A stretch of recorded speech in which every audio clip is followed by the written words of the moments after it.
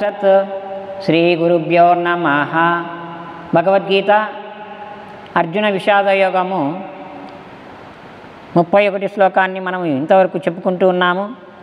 ముప్పై రెండవ శ్లోకములో మరలా అర్జునుడు ప్రశ్న వేస్తాడు. మరి ముప్పై రెండు ముప్పై మూడు ఈ అధ్యాయం చివరి వరకు కూడా అర్జుని ప్రశ్నతోనే ఈ భగవద్గీత ప్రథమ అధ్యాయము సమాప్తమగును.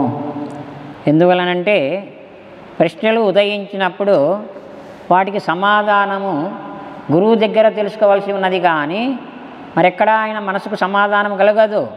అందుకు ఆ మనసులో ఉన్నటువంటి ఆలోచనలన్నీ అవి తీరని కారణము చేతనే ఆ గాంధీవ మనవడు మనస్సు ఉన్నదే. అది బుసలు కొడుతూ బుసలు కొడుతూ బుసలు కొడుతూ ఉన్నది కాబట్టి ప్రపంచ విషయాలలో మనసు అతిగా చెలించుచున్నది అని మనం గుర్తించాలి. ఎప్పుడు ఆ మనసు ఆది పర్వములో అది బ్రహ్మ నిర్మాణం అని చెప్పినందువలన మరి దేవుని వైపు తిరిగినటువంటి మనసుకు ఇంకా దృఢనిశ్చలం కలగకపోతే భగవంతుని యందు భక్తి కలగకపోతే గురువాక్యమునందు విశ్వాసము దృఢముగా లేకపోతే ఆ మనసు ఇంకా ప్రపంచ విషయాలకి పరిగెత్తాలని ప్రయత్నం చేస్తూ ఉంటుంది కనుకనే దానికి ఏమాత్రము అవకాశం ఇవ్వకుండా నిమిత్తాని చ పశ్యామి విపరీతాని కేశవ నచ శ్రేయోను పశ్యామి హత్వా స్వజనమాహవే.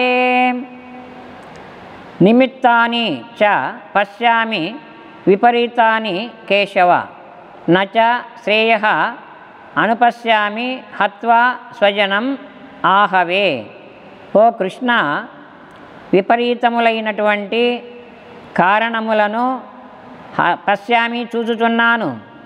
ఆహవే ఈ యుద్ధమునందు స్వజనం స్వజనమును హత్వా చంపి అను పిమ్మట శ్రేయచ్చ శ్రేయస్సును నపశ్యామి చూడలేను. అంటే ఎంతకాలము నా మనసులో ఉన్నటువంటి ఈ ఆలోచనలు ఈ జ్ఞాన యుద్ధములో కూర్చోడానికి అవకాశమునివ్వకుండా బహిర్ముఖానికి లాగుతూ ఉన్నటువంటి ప్రయత్నములో ఎంతసేపు మనము ధ్యానములో కూర్చున్నాను మనసు నిలవకపోతే నువ్వు చేసే ప్రయత్నమంతా వ్యర్థమే.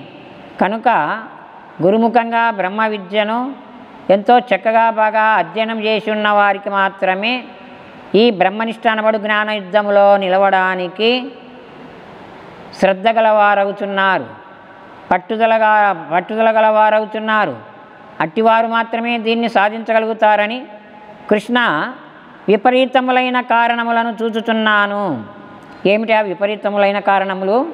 ఆ యుద్ధములో ఉన్నప్పుడు అనేకమైన ఆలోచనలన్నీ రకరకాల ఆలోచనలన్నీ వస్తూనే ఉంటాయి. అవన్నీ మనల్ని భ్రమింపజేస్తున్నాయి. ఇప్పుడే నీకు మరి బ్రహ్మనిష్ట నీకేమన్నా అవసరమా? లేయి నీకేం అవసరము లేదులే అని అన్నట్లుగా ఈ మాయ అలా తన యొక్క భక్తుణ్ణి ప్రపంచ విషయాల్లో పడవేసి ఆ మాయ తనలో కలుపుకోవడానికి ప్రయత్నం చేస్తూనే ఉంటుంది. మరి ఎన్ని రకాలుగా మాయోపవేశాలు వేసినా మరి రాముడు ఆ విధంగా ఏ కొంచెం కూడక మరి ఆ బంగారు లేడిని తీసుకురావడానికి వెళ్ళినప్పుడు ఎన్ని రకాల మాయోపవేశాలు పన్నను వాటికి ఏమాత్రము చిక్కకుండా రా రాముడు ఎట్లా రక్షింపబడ్డాడో అట్లనే మనం కూడా మనల్ని మనం రక్షించుకోవాలంటే మొదట మనం ఈ జ్ఞాన యుద్ధములో మనసు ఇతర విషయాల నుండి వేరు చేసి సంకల్ప ప్రవాహంలో కొట్టి కొట్టుకొని పోకుండా జీవితంలో ఎంతో ఉపయోగార్థమైనటువంటి బ్రహ్మనిష్ట మనకు పరమశ్రేయస్కరమైనదని ముందు నీకు దృఢమై ఉండాలా?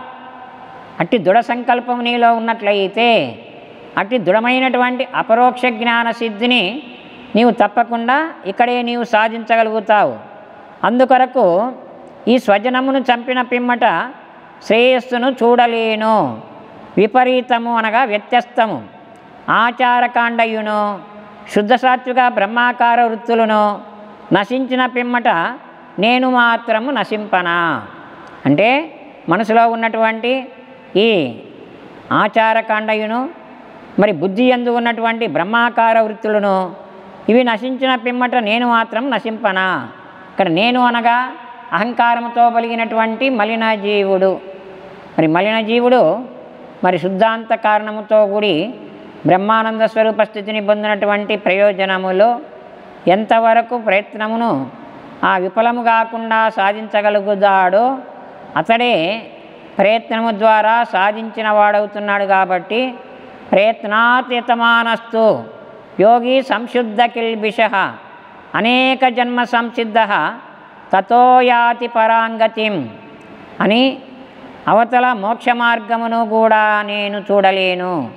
ఇదేమో విచిత్రంగా ఉన్నదని అర్జునుడు భ్రాంతితో చెప్పెను.